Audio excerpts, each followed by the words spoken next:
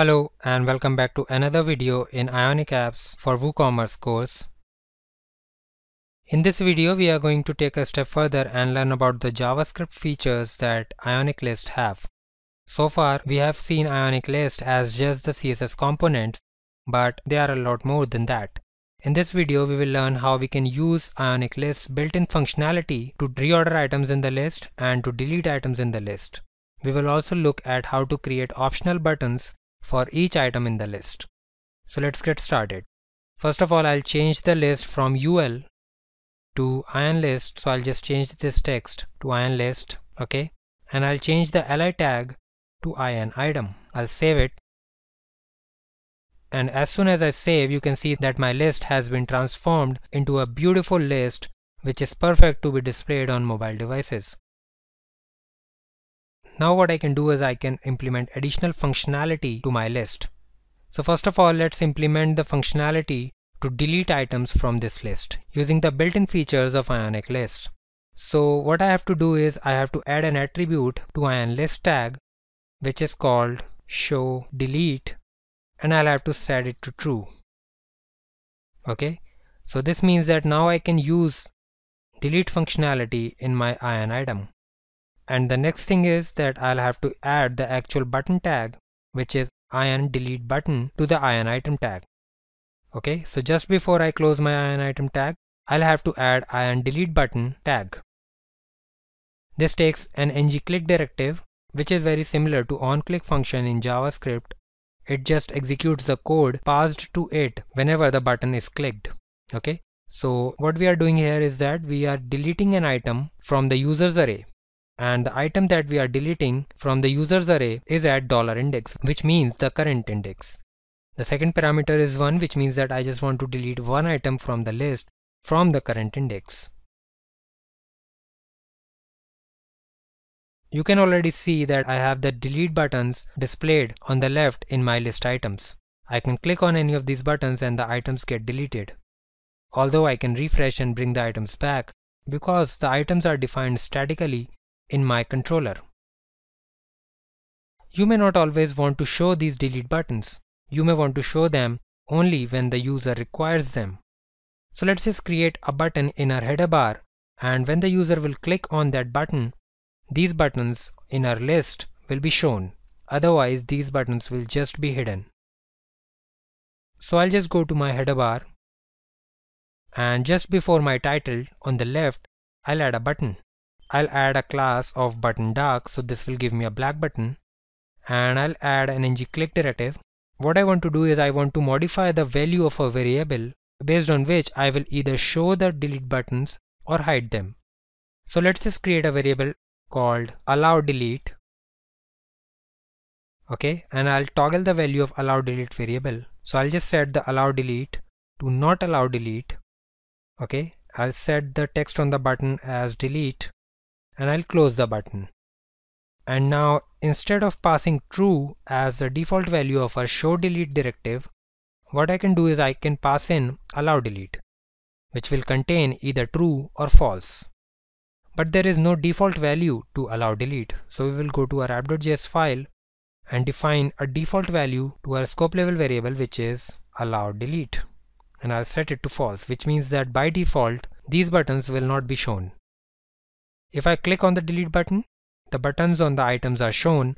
If I click on the delete button again, the value of allow delete variable is changed to false and the buttons are hidden.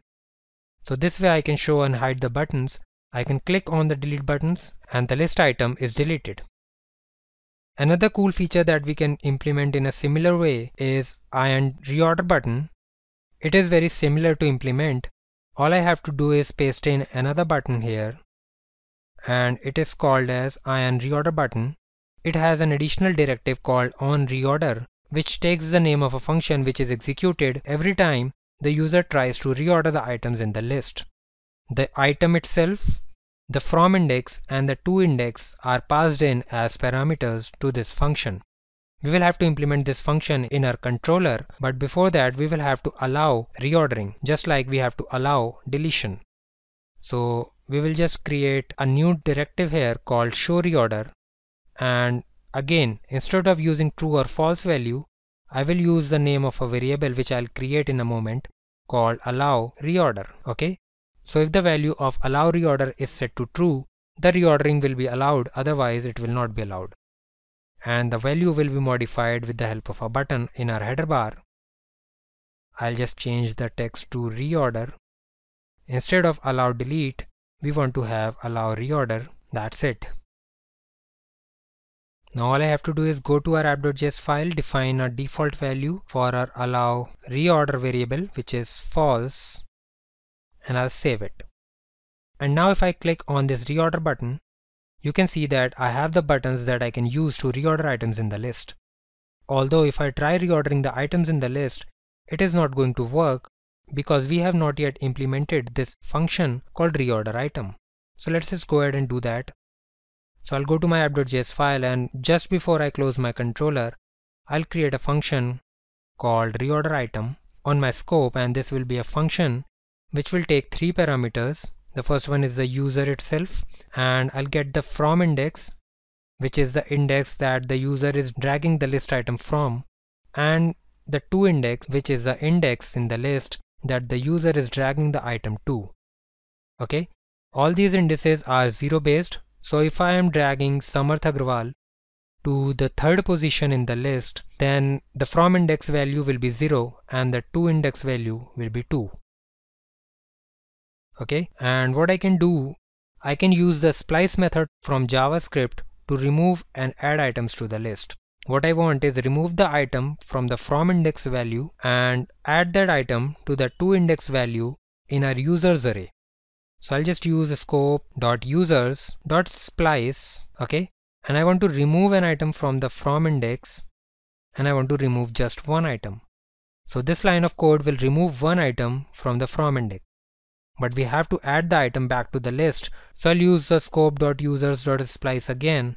This time I'll pass in the to index and I'll pass in 0 as the second parameter which means that I do not want to remove any elements from the array.